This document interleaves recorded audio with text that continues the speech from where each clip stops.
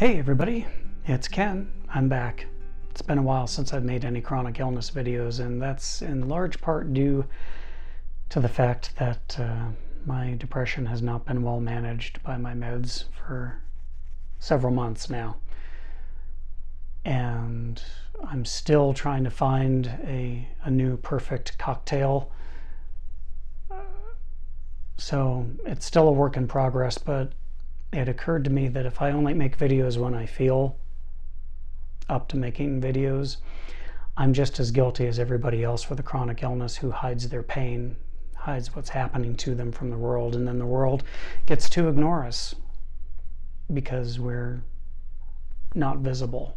So, in order for me to be a more effective advocate, I realized that I need to put myself out there a little bit more personally and let people see see in to what I deal with because I have suffered with depression for many, many, many years.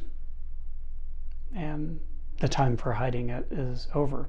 So, um, because of that, some of the videos you'll see in this series are going to be very raw. I'm going to take them on the fly with my smartphone camera at times when I am feeling particularly bad because people need to see what depression can look like. Other videos in the series will be me doing something like this where I'm trying to share some of my tips of things that help me dealing with the things that come up in a depressive cycle. For instance, uh, intrusive thoughts is what I want to talk about today because they have been a really big problem for me over the last six months. I will get uh, a voice in my head that's really mean, that doesn't like me at all, and lets me know just how much of a crappy person I am for hours a day. And sometimes I will wake up with a sad song playing over and over in my head, or I'll have a really sad dream and it just sticks with me for hours, and things just go really downhill from there.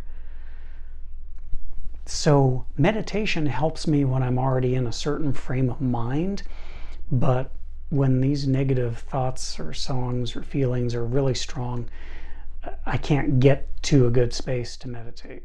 So, I need to find something, anything to just kind of pummel that negative voice or those negative thoughts.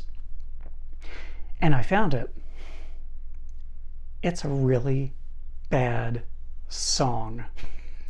and but it works a, a, lot of the time it works it helps me so i'm going to share it with you in, in the hopes that it might help someone watching this video if you get this song stuck in your head and you get angry at me, I, I don't blame you. I understand, and I'm sorry in advance. So, here it is.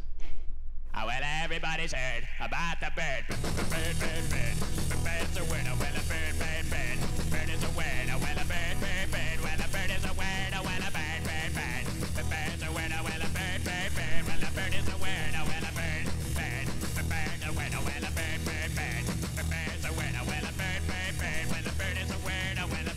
So is this a case where the cure is worse than the disease? maybe, almost. But no, it, it does actually do the trick for me. I get this stuck in my head, and there's no room, at least for a while, for the bad stuff.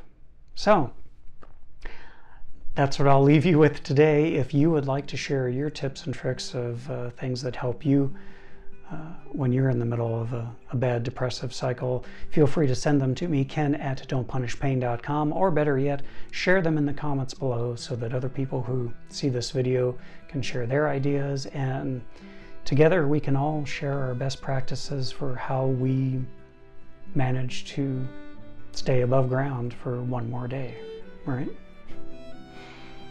That's it. I will hopefully see you again soon. Until next time, I'm Ken McKim. You take care.